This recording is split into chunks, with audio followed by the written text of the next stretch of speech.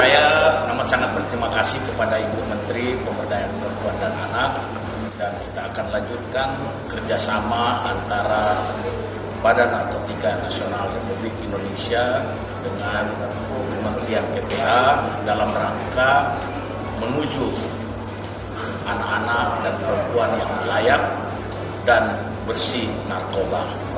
Terima kasih kami dari Kementerian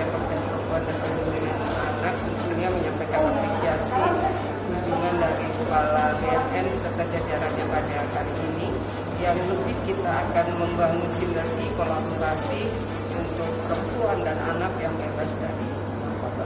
Dan yang selama ini kita sebenarnya sudah ada, tinggal nanti kita lebih intenskan lagi, terutama dalam rencana aksi Ranting 4 GM.